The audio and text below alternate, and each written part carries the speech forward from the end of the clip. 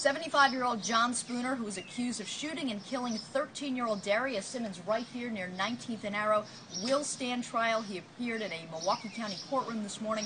He waived his preliminary hearing, also pled not guilty. At 19th and Arrow, Hillary Mintz, WISN 12 News.